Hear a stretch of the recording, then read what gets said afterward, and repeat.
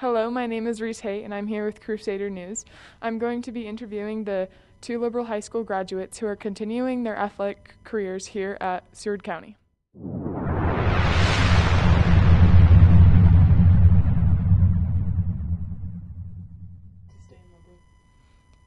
Um, for one, family, of course, they're here, and I'm really close with my brothers.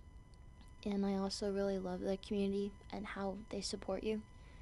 And of course, Liberal has a really good volleyball program at Seward, so I was really interested when Gino um, showed interest in me playing here. Um, it's a little weird at first because I'm used to like playing with a lot of people that I've grown up with, and having different teammates and people from like out of the country is a lot different. But it's really neat getting to meet different people. Not really. At first, I was kind of looking to go where my brother was at or just somewhere different. And I don't know, just by the end of the year, I was like, maybe I should stay home. And I'm kind of glad I did.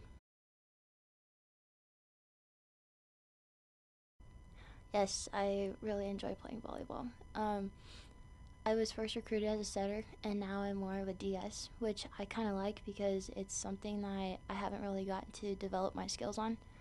And volleyball is just a different kind of sport in a sense. It's like a lot of thrill that goes through your, like a lot of you have a lot of adrenaline. So it's kind of when things go crazy, you know, you're like you feel it, and just like those moments where you get a good kill or a good serve or like um, I don't know, passing a really hard hit. Those are really, really neat moments.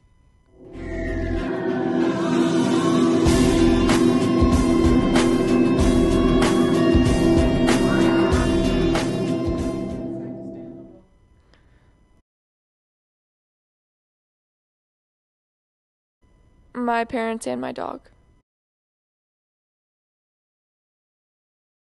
I guess it's cool because there's not a lot of local people.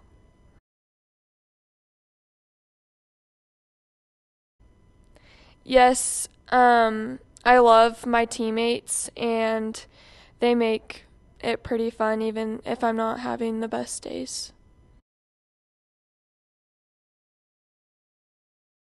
It's just a completely different pace than high school basketball and a lot more competitive and um, hard, I guess.